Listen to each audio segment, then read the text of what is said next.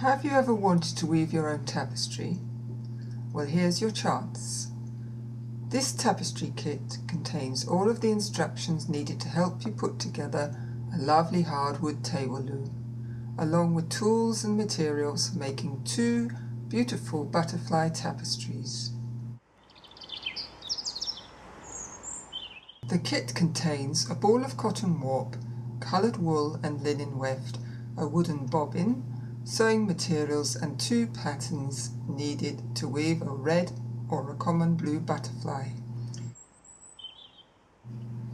It also contains clearly marked wooden pieces ready for assembling into your own stylish table loom.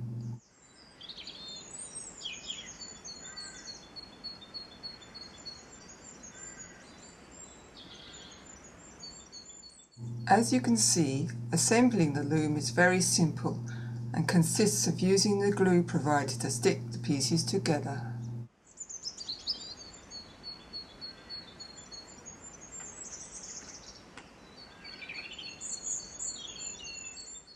Once assembled, the loom will now need to be warped up. This is done working from the front of the loom by simply winding the cotton warp from the bottom to the top using the grooves to hold the warp in place. The warp should be kept at an equal tension all across your working area.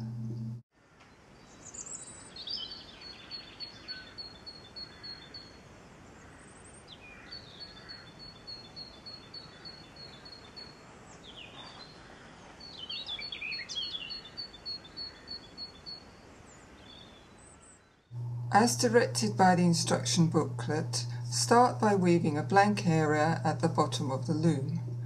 This gives you some practice at the weaving technique, but mainly creates a firm area from which to build up the shape of the butterfly design.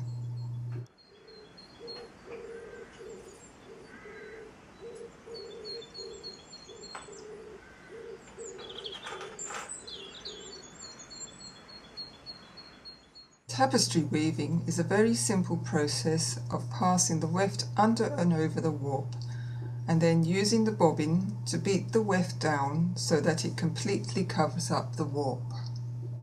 The pattern of the butterfly is then fixed behind the warp threads so that whilst weaving the design outline can be seen through the warp and easily followed.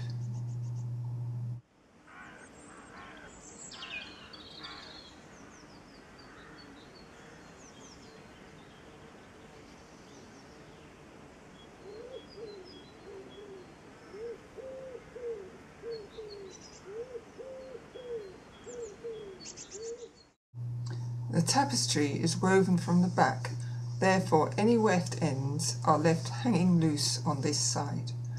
But the front side is neat and smooth as you can see.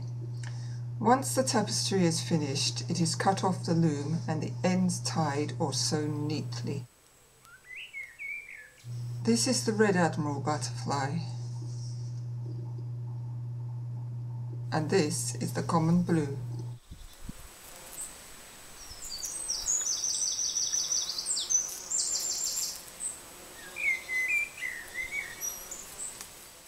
If you want, you can make the tapestry into a purse by folding the wings in half as shown.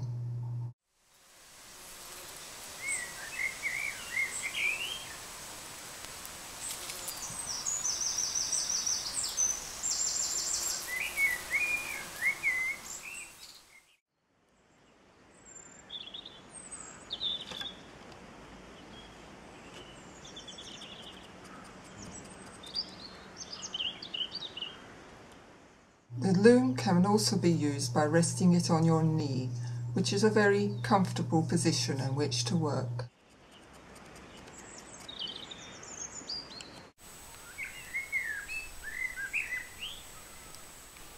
By threading up the loom with a thicker warp yarn and spacing it further apart, you can play around with thick weft yarns and make your own tapestries using your imagination.